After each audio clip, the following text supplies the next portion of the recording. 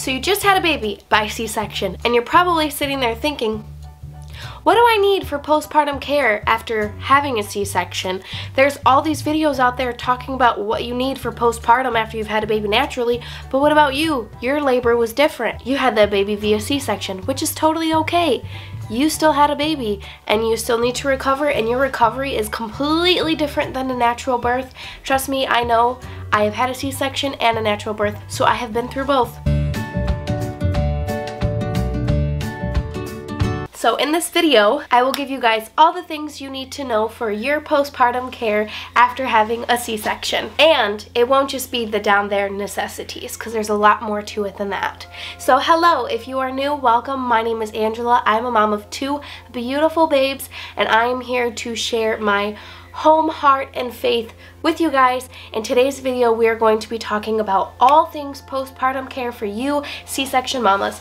And if you've happened to found this video and you did not have a C-section, you can stay with me because some of these things will still apply to you. With that being said, we're just gonna jump into all the things that you mamas need for your postpartum care. First thing I wanna say, congratulations mama on your beautiful babe. However you brought that baby into this world, you did great and you are gonna do an awesome job at being a mom.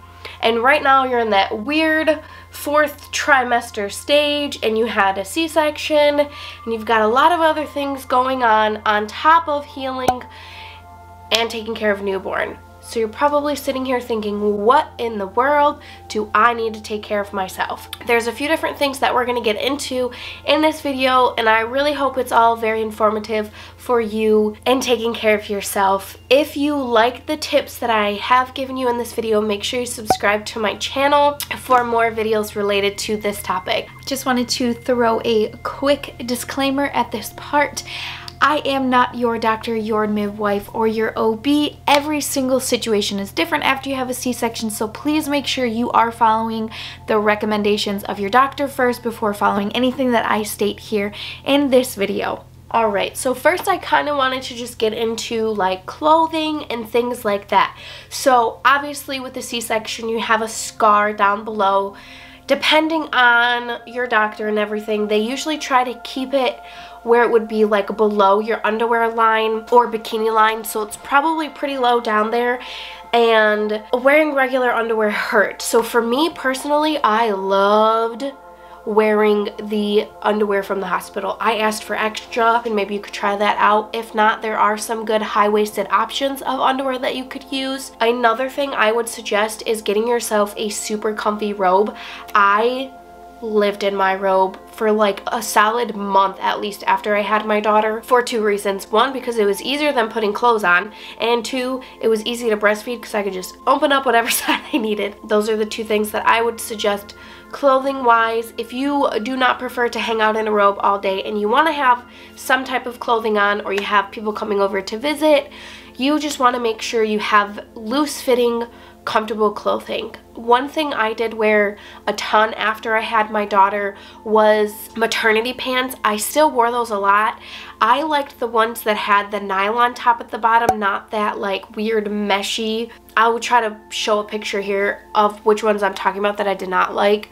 I really preferred the ones with the nylons because it was kind of like the high-waisted underwear and the underwear from the hospital where it just kind of like tucked everything in and held it nice and securely. I wore those on days I could not get on that band that they suggest you wear from the hospital, which is another really good thing to have, especially after having surgery because it just holds everything in there.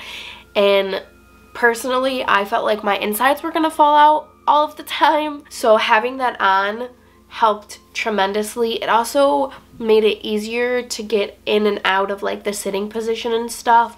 But the one from the hospital was super hard for me to put on alone. I had to do this like thing where i like laid down and like tried to hold and hold. I will link below one that i purchased that was very easy to put on by myself. After having a Aliyah we did have a lot of people around so i could get help if i needed it. The next thing that i wanted to talk to you guys about was listening to your body is very important after having a c-section. One thing that is really good for you after having your baby via C-section is getting up and walking around. Like I said earlier, it is going to be very hard to stand up and sit down, but when you are feeling motivated and when you have a little bit of energy, get up and go for a walk. It is really good for you and the baby to get up and go for a walk outside. Even if you literally only make it like three houses, just getting up and moving around, it helps so much after any type of surgery, especially after having a C-section. The next point we're going to get into is going to be sleeping. Let's do it. The next place I wanted to discuss with you guys is going to be sleeping.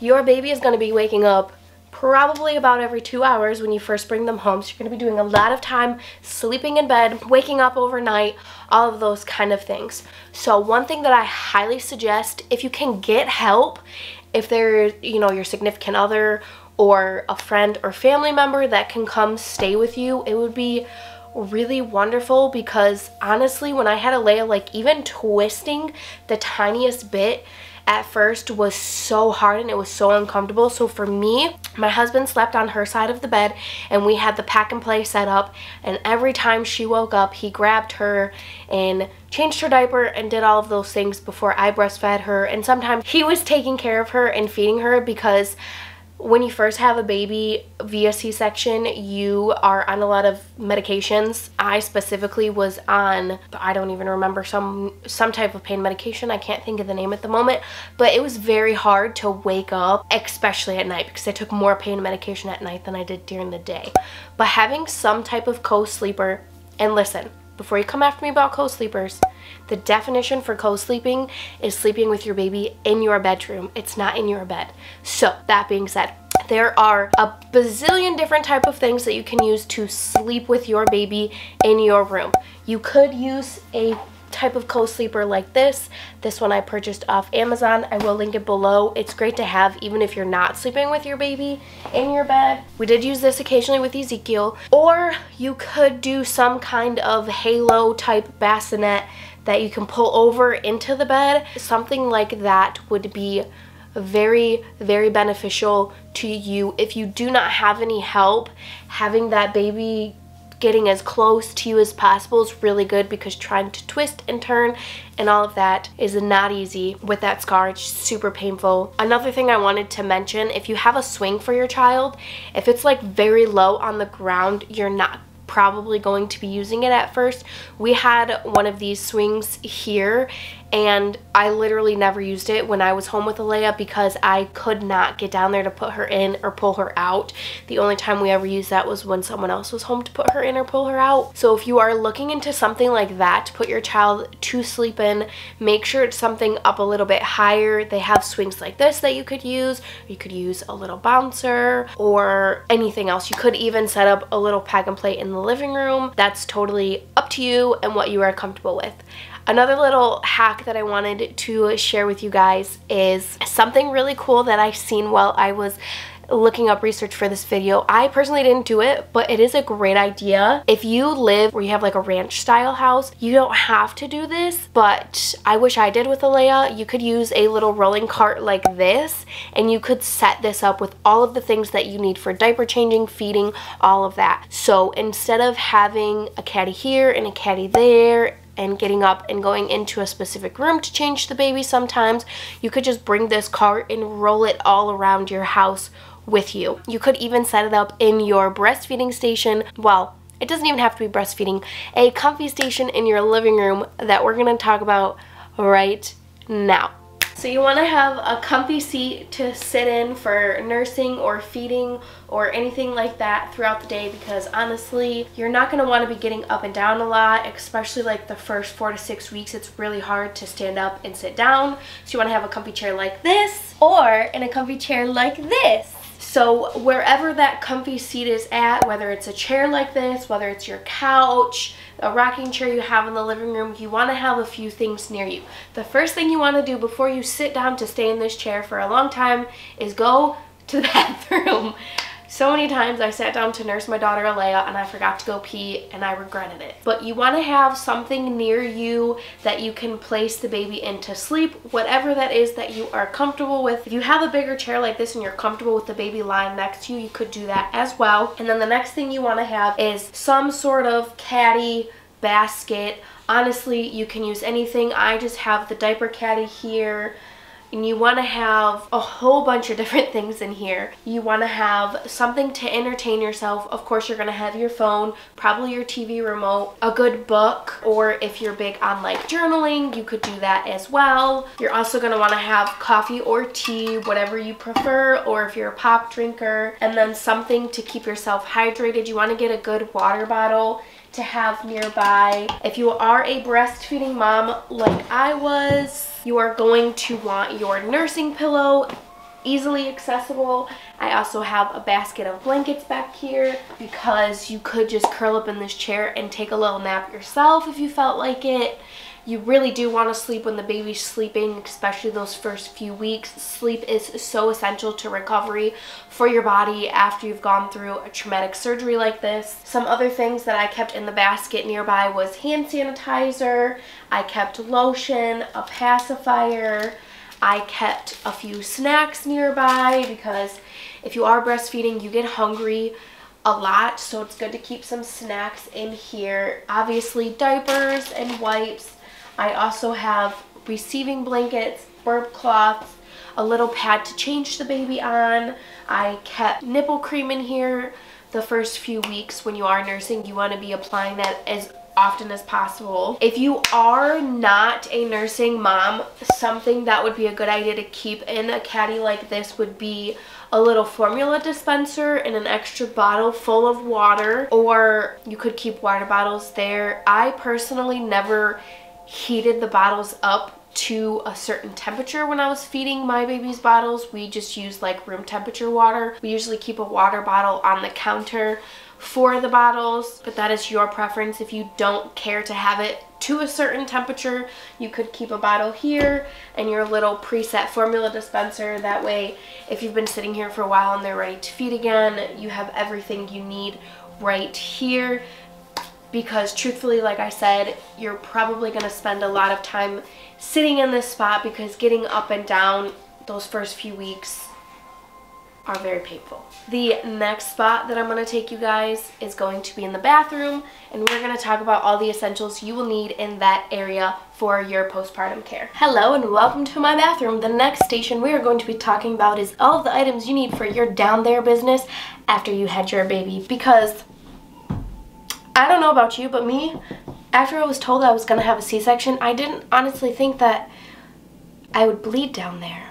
Don't ask me why I had that thought in my mind, but I did. So what I did and what I still do, so I have a little basket or a little box like this, and I kept all of my postpartum care in this baby because it's cute I can keep it out. I just store it right next to my toilet. And every time little old Mother Nature pays a visit, this little basket comes on out. One thing that I found that worked really well after I had both of my kids were these Always Infinity pads. I will definitely link these below.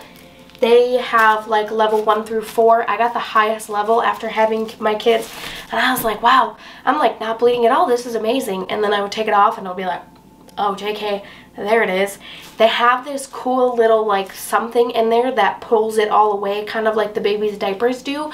So you're not having anything on your skin. And if you're like me and you have sensitive skin, that's really great. Because personally, I don't like wearing these when it's the time of the month. But you can't use these bad boys after having a baby. Even if you had them C-section, you still don't want to use these for at least six weeks. So these little guys were great.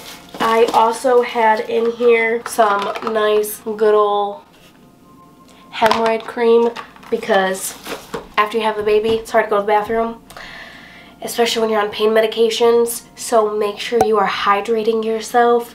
Drink lots and lots and lots and lots of water.